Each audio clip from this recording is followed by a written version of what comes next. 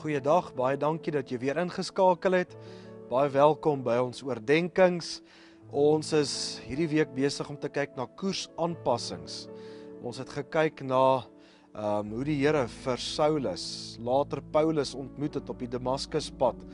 Ons het so 'n bietjie gaan kyk na hoe God vir Jesaja ontmoet het en hom geroep het vir die groot werk wat die Here vir hom in stoor gehad het. Koersaanpassings wat die Here bring oor ons lewens.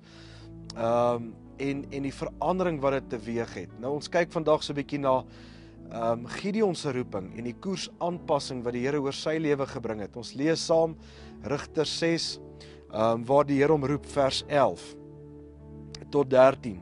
Die engel van die Here het onder die eikeboom in Ofra kom sit. Dit het aan Joas van die Abieser familie behoort. Sy seun Gideon was besig om onder die op die vloer van 'n parskyp koring uit te slaan. Hy het daar vir die Midianiete weggekruip. Die engel van die Here het toe aan hom verskyn. Hy het vir hom gesê: "Die Here is by jou, dapper man."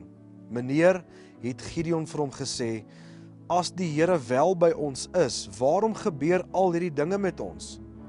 Waar is al die wonderlike dinge wat hy gedoen het en waarvan ons voorouers ons vertel het?" Hulle het ons vertel Die Here het ons uit Egipte bevry. Maar nou het die Here sy rug op ons gedraai.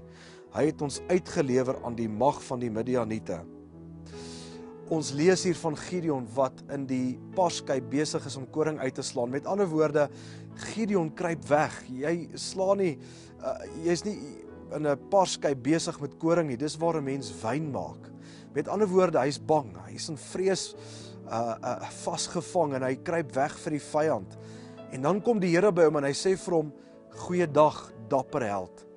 God sien iets anders in Gideon se lewe. Hy hy sien potensiaal. Hy hy sien iets groter en hy roep hom. Hy bring 'n koersaanpassing oor sy pad.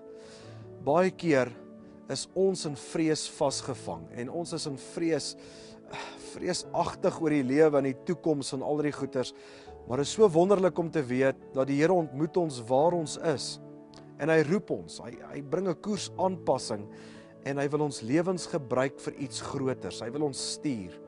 Miskien luister jy vandag hierna en jy's in vrees vasgevang en jy ervaar hoe die Here met jou lewe 'n groter plan het.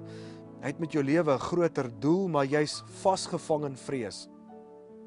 En ek wil jou vandag uitdaag om stil te word, om te luister na die stem van die Here wat vir jou sê: "Dapper held, ek het 'n groter plan vir jou in store." Laat staan jou vrees. Luister vir my. Kom ons bid saam. Hemelse Vader, baie dankie dat ons na u stem kan luister. U stem wat vir ons sê dapper held. En miskien sit ons vandag en ons is in vrees vasgevang. Ons is bang vir môre, ons is bang vir volgende week of vir die toekoms. Maar dankie dat u ons lewens wil vat en gebruik en iets groots daarmee wil doen. Here help ons om ons vrees te oorwin en gehoorsaam te wees aan u stem. Is my gebed in Jesus naam. Amen. Baie dankie dat jy ingeskakel het. Ons sien mekaar weer môre. Totsiens.